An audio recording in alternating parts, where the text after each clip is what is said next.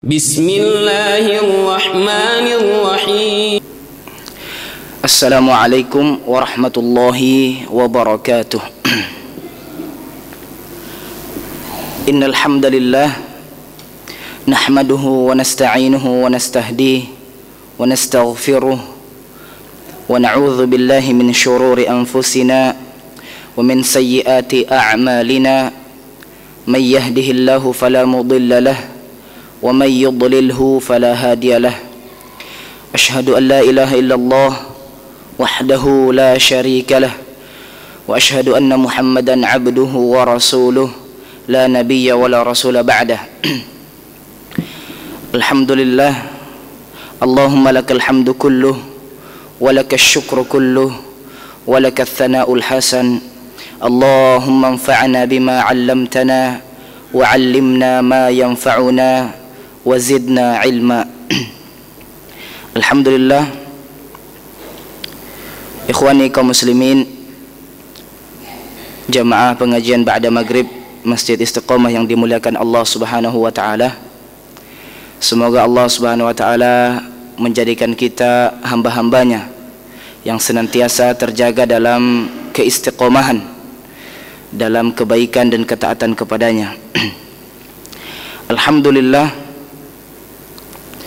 Hadirin sekalian dan para pendengar di mana pun ikhwah dan antum semua berada kita minta kepada Allah subhanahu wa ta'ala di majelis ilmu ini keberkahan dan ilmu yang bermanfaat yang dengannya kita bisa memahami ayat-ayat Allah subhanahu wa ta'ala di dalam Al-Quran dan hadis-hadis baginda Nabi tercinta Muhammad sallallahu alaihi wasallam yang dengan keduanya dengan para dengan pemahaman para salaful ummah salafus saleh semoga Allah SWT menyelamatkan kita di zaman yang betul-betul kita sekarang berada di. Zaman yang penuh dengan fitnah dan tanpa perlindungan maunah bantuan dari Allah Subhanahu wa taala rasa-rasanya sangat sulit sekali kita bisa selamat dari fitnah akhir zaman ini hanya dengan kembali kepada Al-Quran dan Sunnah sesuai dengan pemahaman para salafus saleh insyaallah taala Allah Subhanahu wa taala akan memperbaiki ahwal kita, kondisi kita dan menyelamatkan kita dari semua fitnah yang ada. Ikhwani kaum muslimin yang dirahmati Allah Subhanahu wa taala, mazilna fi liqa'ina kita masih dalam pertemuan kita natadabbaru sawiyan ayatillah kita mencoba bersama-sama mentadabburi ayat-ayat Allah Subhanahu wa taala yang kita memang diperintahkan untuk mentadabburinya. Qala Allah Ta'ala afala yatadabbaruna al-Qur'an. Ya. Mengapa? Mengapa mereka tidak mentadabburi Al-Qur'an? Ayat-ayat seperti ini banyak sekali di dalam Al-Qur'an. Ada yang menantang mencari sekiranya di dalam Al-Qur'an itu ya sekiranya Al-Qur'an itu bukan dari Allah Subhanahu wa taala pasti banyak sekali pertentangan di dalamnya. Tapi karena dia datang dari Allah Subhanahu wa taala tidak ada pertentangan sedikit pun di dalamnya. Contoh yang paling mudah yang bisa kita dapatkan jamaah sekalian kisah Nabi Musa alaihi salam yang terdapat dalam surat Al-Baqarah dan surat-surat setelahnya sampai akhir Al-Quran itu sama redaksinya ya. sama konteksnya sama kisahnya ya.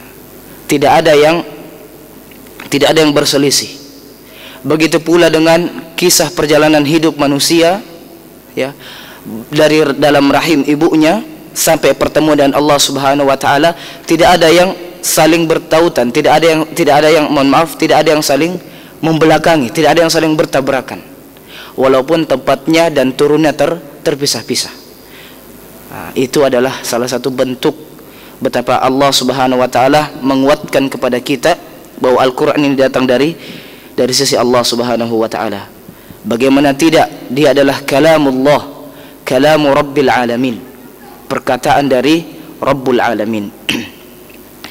Ikhwas sekalian yang dimuliakan Allah Subhanahu wa taala, tadabbur kita tadabbur kita ini adalah pertemuan yang ketiga. Kalau kami tidak khilaf di bulan Agustus ini tadabbur kita mencoba mentadabburi Al-Qur'an dengan pengayaan disiplin bahasa Arab. Ya dengan disiplin bahasa bahasa Arab bahasa yang diturunkannya Al-Qur'an tersebut lebih spesifik lagi kita akan mengambil disiplin ilmu balaghah. Ilmu balaghah di dalam di dalam bahasa Arab. Dan kita akan mengenal kita katakan beberapa imam-imam bahasa Arab yang merupakan imam besar. Para ahlus sunnah wal jamaah bagaimana mereka mentadaburi Al-Quranul Karim. Bagaimana mereka mentadaburi Al-Quranul Karim dengan zauk ya dengan zauk cita rasa bahasa Arab itu pada pertemuan perdana ya di akhir bulan lalu kita sudah mencoba mengenal apa itu ilmu balaghah dan kita sudah mengenal beberapa pembagiannya kemudian kita mencoba memasuki beberapa ayat-ayat yang bisa kita tadabburi yang paling mudah ya. kita mengenal yang disebut dengan takdim wa takhir ya. Kita mengenal dengan takdim wa takhir. Ada yang didahulukan ada yang diakhirkan beberapa kata di dalam Al-Quran. Yang kita ambil contohnya itu kalimat ins dan al-jin.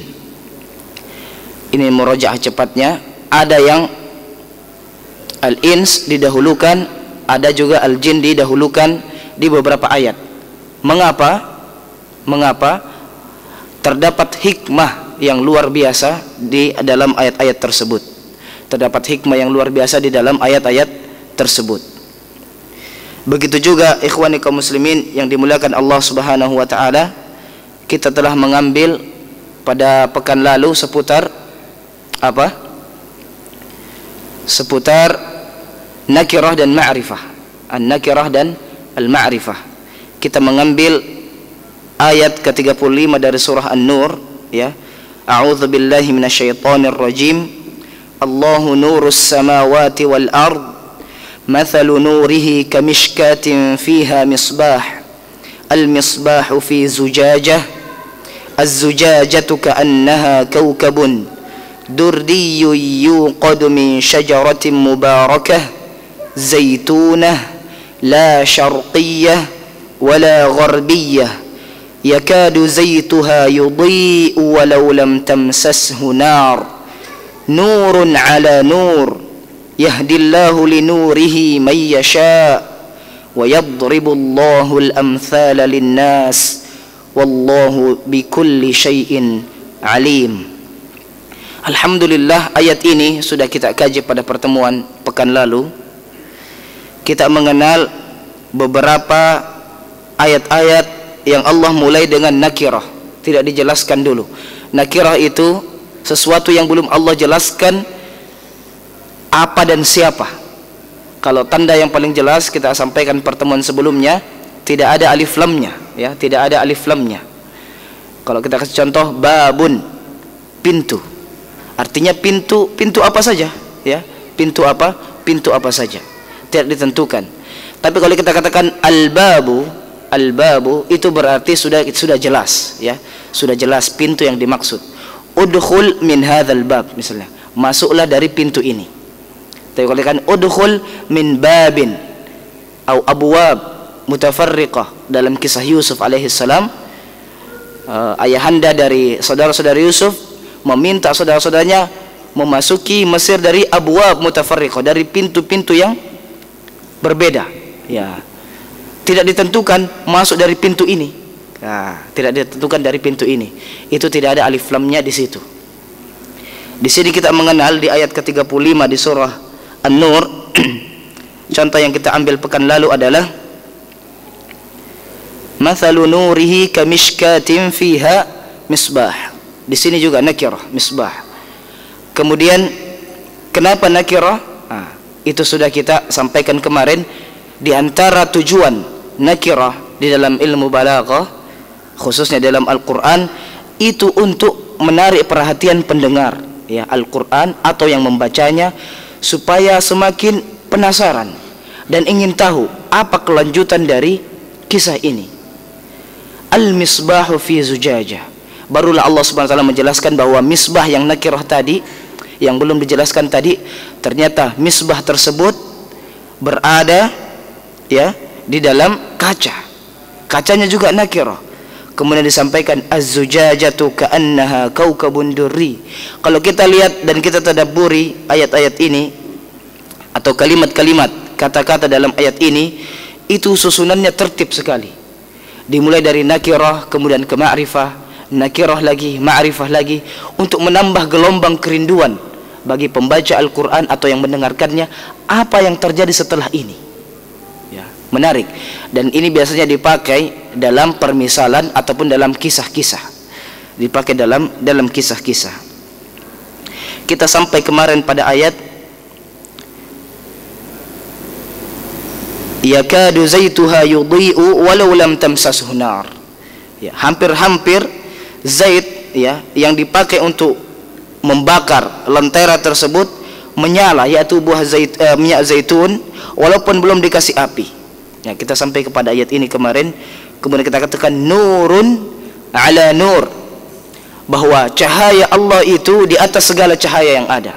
Antum perhatikan, ini juga nakirah. Nurun ala nur.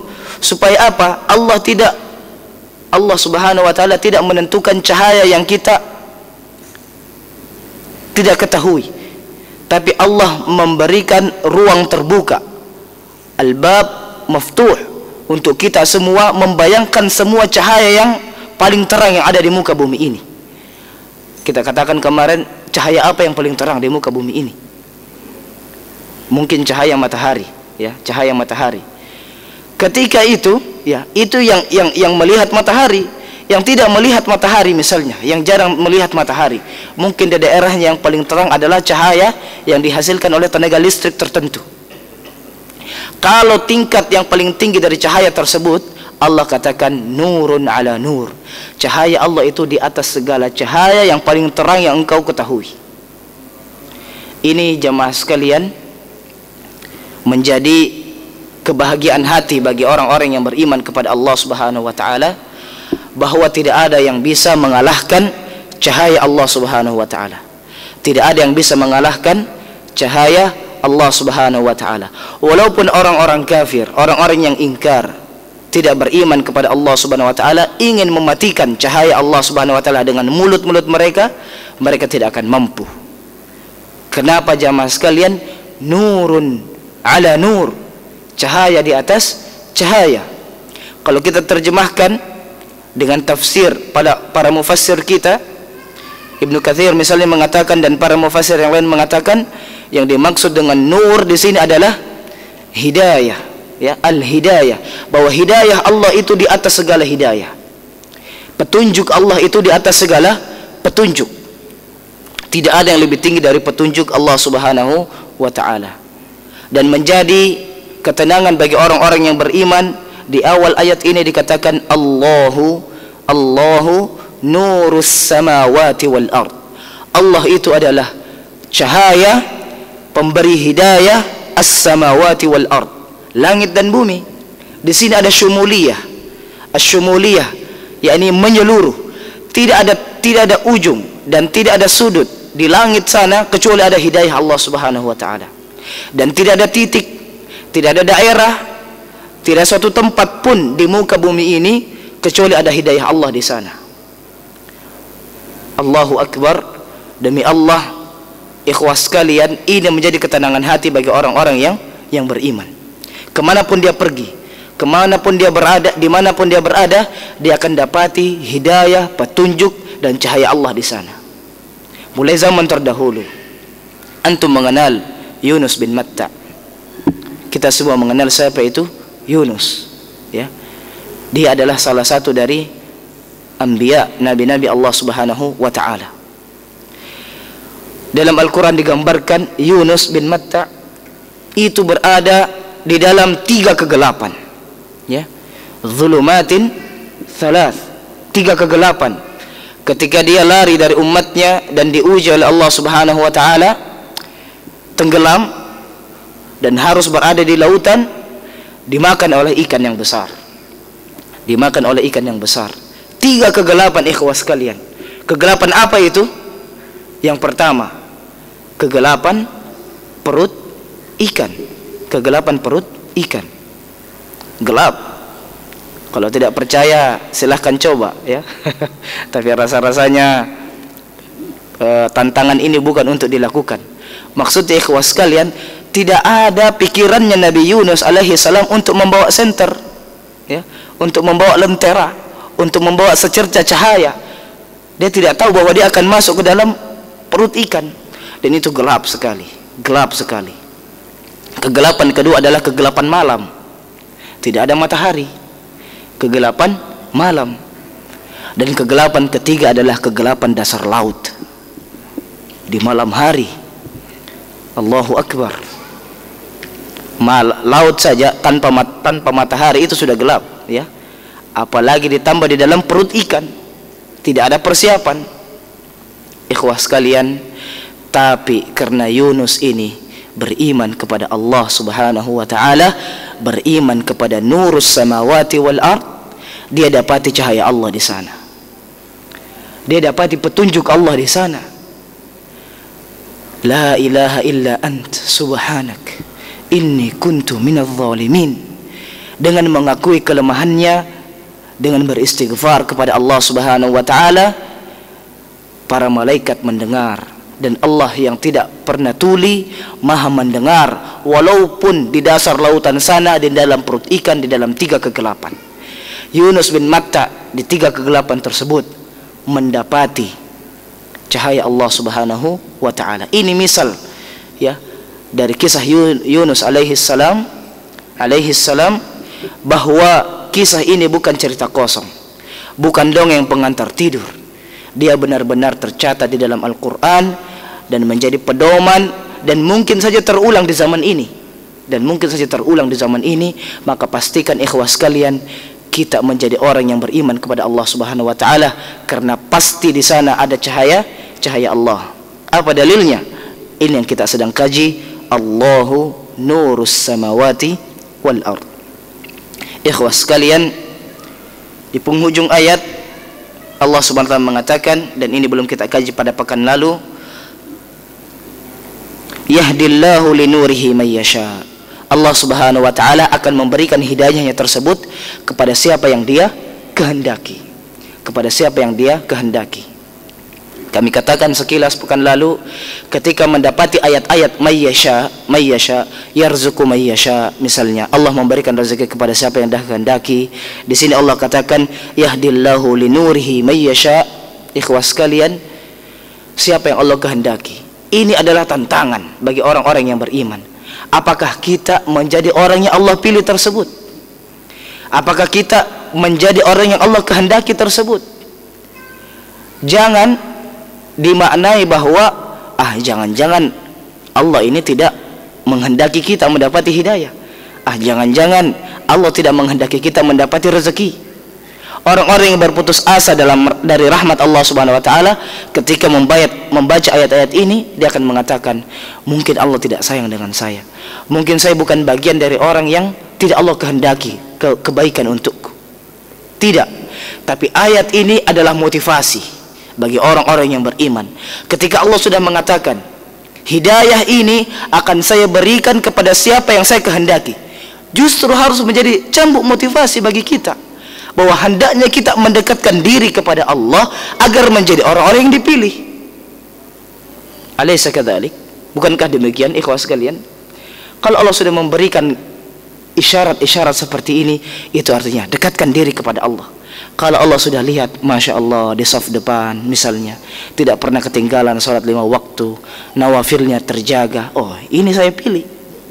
Dan fitrahnya seperti itu Fitrahnya seperti itu. Siapa pun kita Ketika kita berada dalam posisi pemimpin Kita akan memilih orang-orang terbaik di bawah kita. Dengan standarisasi Seperti ini dan seperti ini. Apalagi di hadapan Rabbul Alamin. Allah ingin melihat keseriusan kita Allah akan melihat keseriusan kita.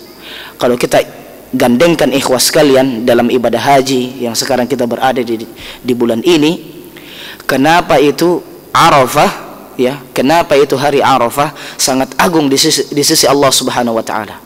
Karena pada hari itu Allah ingin melihat mujahadah hamba-hambanya. Harus hadir di Arafah baru bisa dikatakan ibadah haji. Al-hajju Arafah walaupun dia sudah berumrah ketika mengambil haji tamattu sudah berumrah ya. Sudah melaksanakan ritual haji silsilahnya dari awal sudah mengikuti terwiyah ya. Tiba-tiba di hari Arafah ya. La Allah dia tidak bisa mengikuti hari Arafah. La Allah itu belum dikatakan haji. Belum melaksanakan ibadah ibadah haji. Karena itu rukun yang harus ada. Al hajju Arafah dan kalau kita kaji lebih dalam ternyata ikhwas sekalian di hari tersebut Allah Subhanahu wa taala ingin melihat dan memilih siapa dari um, dari hamba-hambanya yang betul-betul serius ingin mendapati ampunan Allah Subhanahu wa taala. Dikatakan dalam sebuah riwayat Allah memanggil para malaikat-malaikatnya untuk melihat ke padang Arafah pada hari itu tanggal 9 Zulhijjah. Lihatlah kata Allah Subhanahu wa taala, hamba-hambaku di bawah sana berkumpul. Di, digambarkan dalam riwayat tersebut. Mughbarratun qadamah kakinya berdebu. Allah sampai spesifik memberikan sifat seperti itu menggambarkan dengan jelas orang-orang yang bermujahadah di hari itu. Kakinya berdebu rambutnya acak-acakan. Mereka berkumpul dan tidak berkumpul kecuali karena aku. Apa yang mereka minta akan aku beri kata Allah Subhanahu wa taala dan pada hari itu banyak sekali dari hamba-hamba Allah yang dilepaskan leher dari siksa api neraka. Tapi apakah semuanya? Wallahu a'lam. Tapi yang jelas siapa yang bersungguh-sungguh Allah pasti memilihnya. Di sinilah kita ikhwas kalian memaknai ayat-ayat seputar mayyasha mayyasha ya siapa yang Allah kehendaki siapa yang Allah kehendaki. Wa yadribullahu al-amthal linnas Allah Subhanahu wa taala telah memberikan banyak permisalan di dalam Al-Qur'an kepada manusia. Supaya apa? Supaya pendekatan nalar supaya memahami supaya manusia bisa memahami ayat-ayat Allah Subhanahu wa taala. Wallahu bikulli syai'in alim. Ayat ini ditutup dengan wallahu bikulli syai'in alim. Dan Allah Subhanahu wa taala maha mengetahui atas segala sesuatu. Ini menarik. Kalau kita tadabburi begitu saja kalau kita membaca ayat begitu saja dan tidak kita tadabburi seolah-olah akhir ayat ini tidak ada hubungannya dengan awal ayat Padahal di antara kesempurnaan Al-Qur'an, di antara kesempurnaan Al-Qur'an, permulaan ayat itu pasti selalu sama maknanya, tujuannya dengan akhir ayatnya. Tidak ada yang beda maknanya. Antum bisa nanti cari ya ayat-ayat yang banyak ketika membahas tentang neraka misalnya. Pasti akhirnya itu ya, pasti akhirnya itu membahas tentang bagaimana maha dahsyatnya Allah Subhanahu wa taala dalam mengazab misalnya. Tapi ketika membahas tentang surga, ya, Allah akan mengakhiri ayatnya dengan Allah itu Rahim, Allah itu Rahman, ya.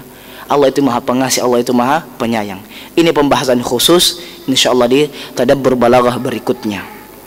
Di ayat ini kita melihat contoh yang paling dekat dari kita, wallahu bikulli syai'in alim. Allah Maha mengetahui segala sesuatu. Apa hubungannya kolerasinya dengan Allahu nurus samawati wal ard?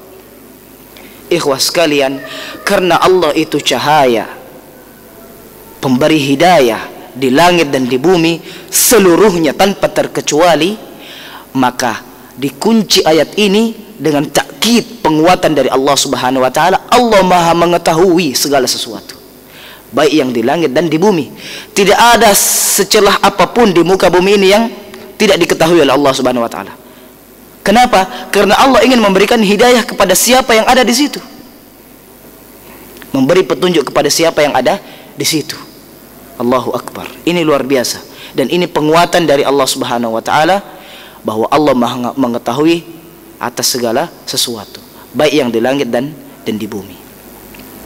Baik ikhwas sekalian, ini sekali lagi masih bagian dari muqaddimah kedua dari pembelajaran kita insyaallah taala idealnya kita mentadaburi Al-Qur'an dari awal dari surah Al-Fatihah Al-Baqarah dan seterusnya sampai An-Nas dan itu akan kita coba insyaallah hanya saja perlu pengantar bahwa materi kita ini seputar disiplin bahasa Arab ya.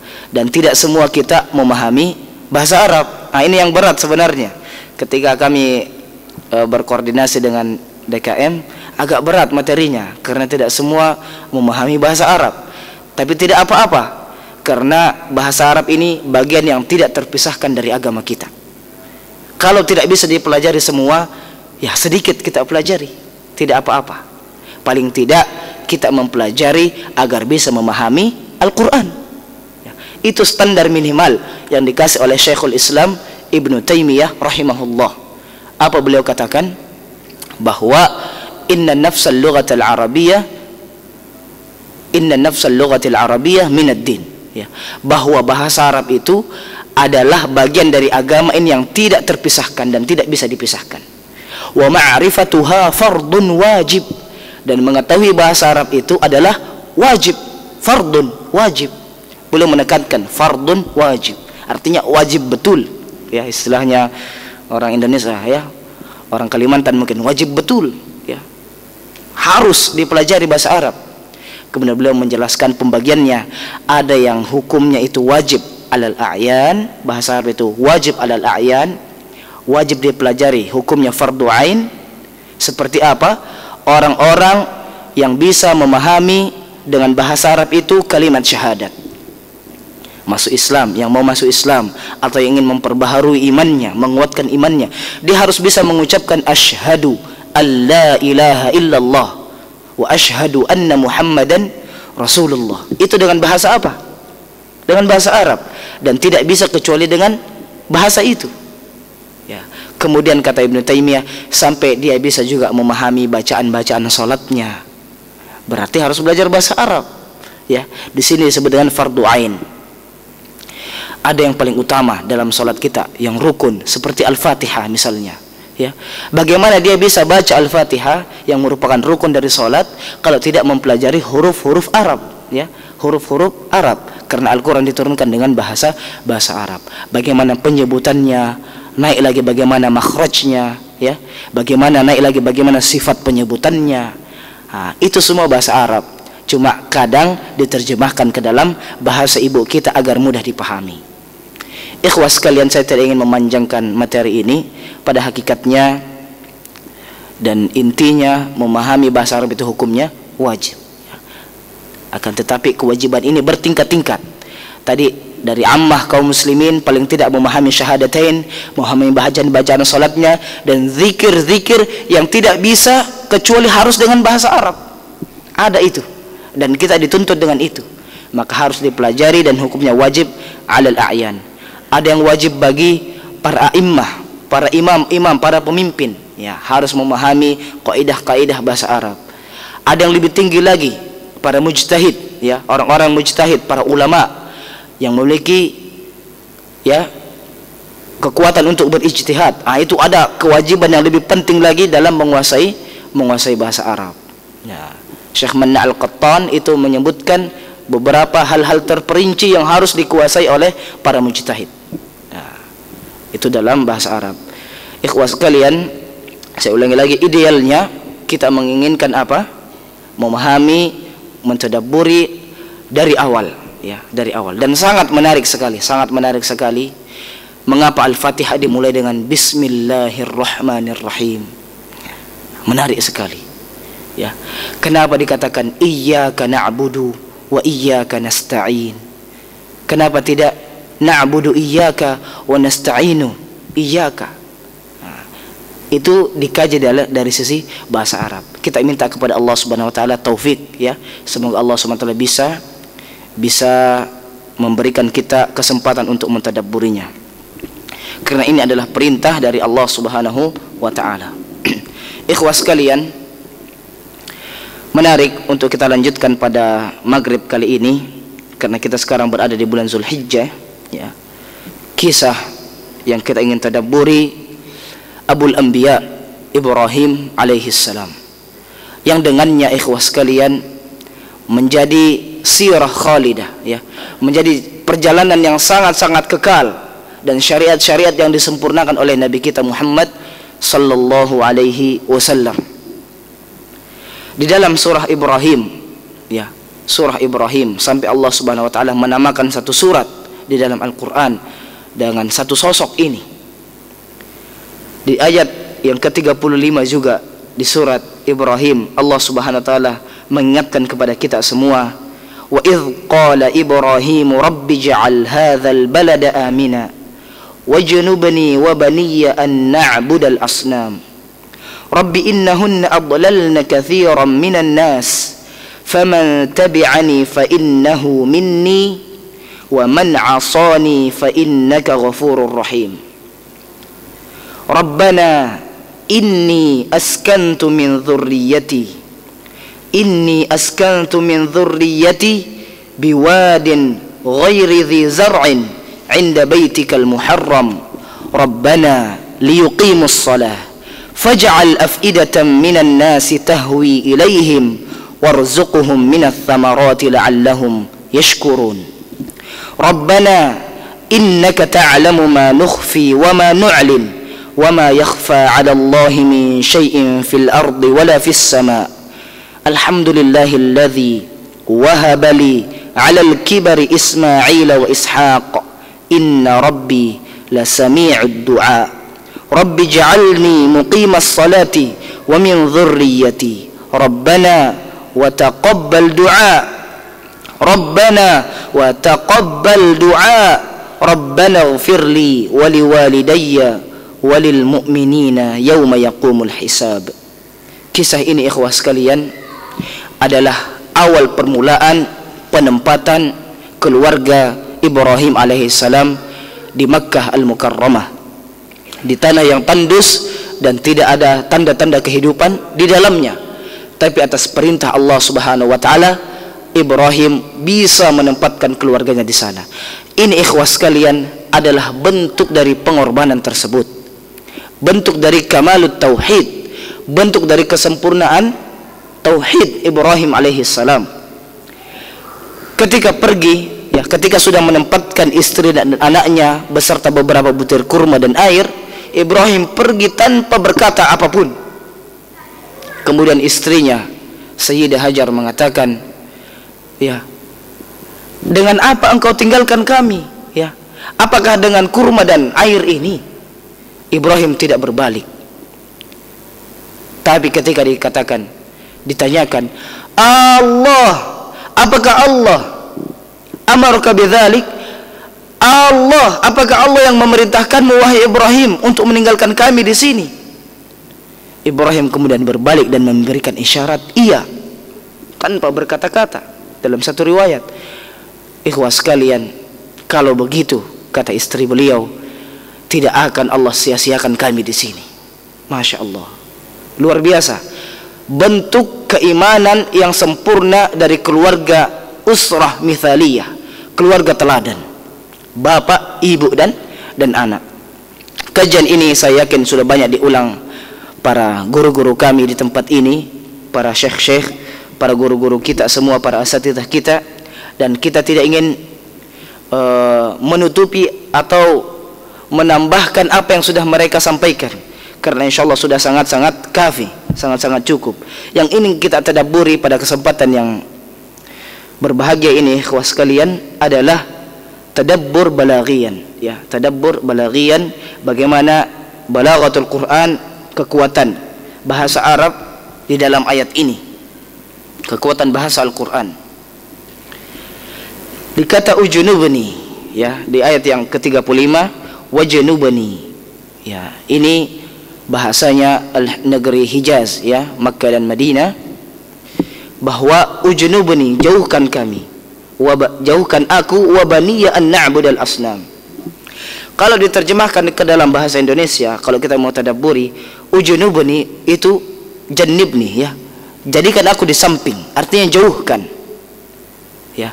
Kalau dikatakan jauhkan itu berarti masih dekat-dekat ya. Masih di sekitarnya. Di sini tidak dikatakan ab'idni, ya, jauhkan aku. Tapi dikatakan apa? Ujunubni. Ada perbedaannya. Kalau ab'idni, ya, jauhkan aku, itu berarti masih sekitar situ, sekedar dijauhkan sebagaimana saya menjauhkan botol air ini dari mikrofon tapi kalau ujunub ini ikhwas sekalian ibarat sebuah lingkaran Ibrahim minta dikeluarkan dari lingkaran tersebut ini pilihan kata dari Al-Quran. Ya. kalau dalam misalnya lingkaran masjid ini ya bukan masjid ini lingkaran kesyirikan lingkaran kesyirikan dari menyembah al-asnam berhala Ibrahim tidak mengatakan jauhkan tapi apa? Keluarkan ya dari lingkaran ini. Masya Allah. Ini permintaan yang sempurna dari Ibrahim alaihissalam tidak sekedar dijauhkan tapi apa? Dikeluarkan dari daerah syirik makanya Allah menempatkan mereka di mana? Di Makkah. Betul-betul jauh dari kesyirikan tersebut dari menyembah berhala. Kemudian ikhwas sekalian, kenapa? Karena para asnam itu betul-betul telah ikhwas sekalian menjauhkan manusia dari menjauhkan manusia dari menyembah Allah Subhanahu wa taala. Baik, ikhwas sekalian, ya, baru mau kita kaji dan waktu yang sangat terbatas. Singkatnya ikhwas sekalian, kami mengingatkan kita berada di 10 pertama Zulhijjah, hari-hari yang sangat Allah cintai. Kalau kita lalai dari banyak berbuat kebaikan jangan sampai kita lalai dari berpuasa di tanggal 9 Zulhijjah nanti nasihat ini untuk kami dan untuk ikhwas sekalian pahala yang sangat besar kata Allah kata Rasulullah SAW bahwa ahtasib ya saya minta kepada Allah Subhanahu Wa Taala puasa satu hari tanggal 9 Zulhijjah itu bisa mengampuni dosa-dosa satu tahun yang telah lalu dan satu tahun yang akan datang Masya Allah dua tahun lamanya diampuni dosa kita Siapa yang tahun kemarin tidak pernah berdosa? Ya. Dan siapa di antara kita yang tidak ingin diampuni oleh Allah Subhanahu wa taala? Demikianlah ikhwas sekalian, kita tutup bersama dengan kafaratul majlis. Subhanakallahumma bihamdik asyhadu an la ilaha illa anta astaghfiruka wa atubu ilaik.